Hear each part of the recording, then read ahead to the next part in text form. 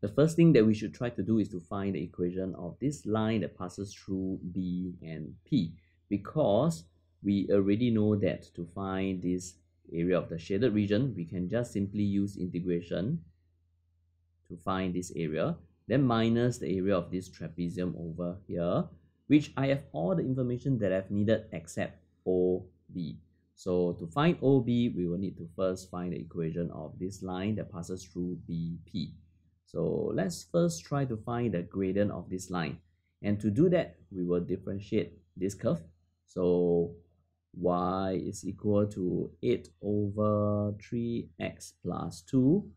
We can rewrite this as 3x plus 2 to the power of minus 1. So dy dx is going to be equal to 8 of minus 1 3x plus 2 to the power minus 2 times 3 chain rule and this is equal to minus 24 over 3x plus 2 squared. So now at this point P, the x coordinate is equal to 2. That will give us dy dx.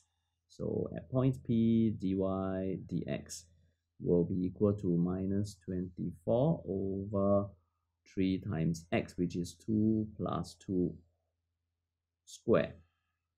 So dy dx here is equal to minus 3 over 8. And this will give us the gradient of the line that passes through BP.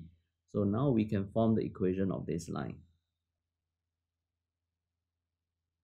Equation of the line that passes through BP will be y minus, referencing it to p, y minus the y coordinate of p, which is 1, is equal to the gradient of x minus the x coordinate of p, which is 2.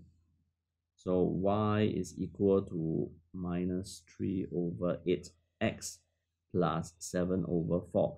And b is the y-intercept of this line. So 7 over 4 here, this tells me that point B is 0 and 7 over 4.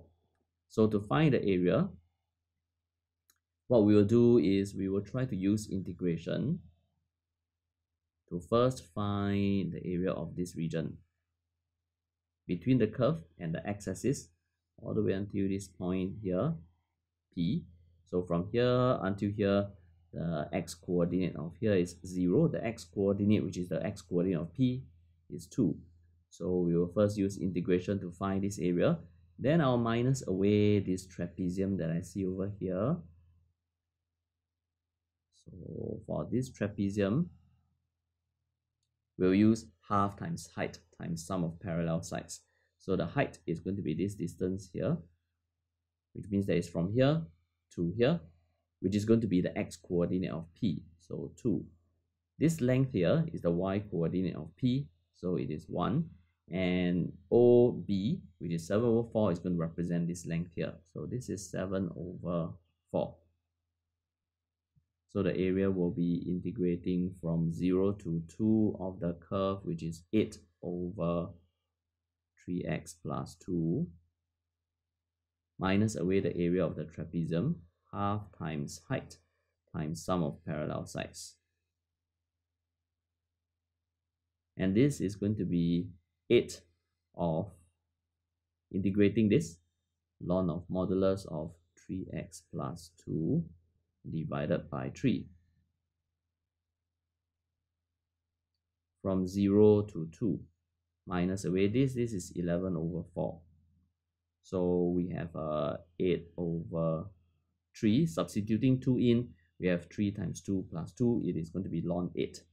So ln 8 minus away, substituting 0 in, we have uh, 8 over 3 of ln 2 and minus 11 over 4. So the area is going to be equal to 8 over 3 of ln 8 divided by 2, so ln 4 minus 11 over 4.